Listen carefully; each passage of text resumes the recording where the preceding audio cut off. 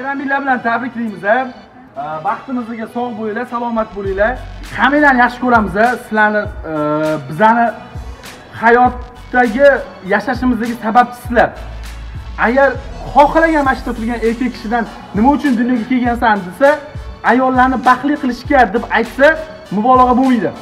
Opamizni singlimizni baxtli qilish eng katta orzuyimiz demak onamizni baxtli bo'lishini xohlaymiz nima uchun? Onamiz baxtli bo'ladi qachonki biz baxtli bo'lsak? Yaxshi ham bor sizlar dunyoda biza endi hazil qilib aytaman. Nima deydi? Erkaklar nima uchun kerak deydiyu biz ayollar nima uchun kerak emas? Ayollar biz uchun kerak deb yashaymiz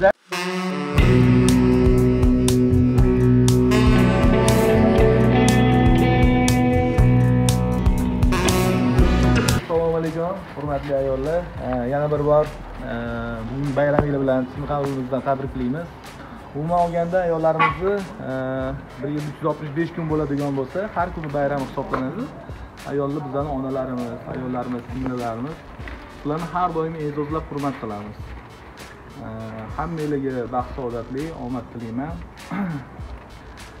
Har doim shunday ochilib yuringlar.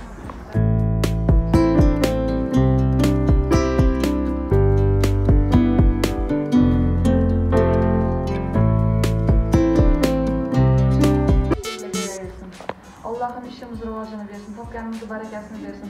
Har doim yoshlanishda biz ham yosh bo'lib yuraylik. Yaxshi yaxshi o'qishlarga kirib o'qishlarni bitirib hammanglar bitta kresloni egasi bo'lib yuringlar. Yigitlarimizga ham rahmat bizni shunchalik hurmat qilib dasturxonga bizni chaqiribdi. Hammanglarni omadinglarni bersin bayraminglar qul bo'lsin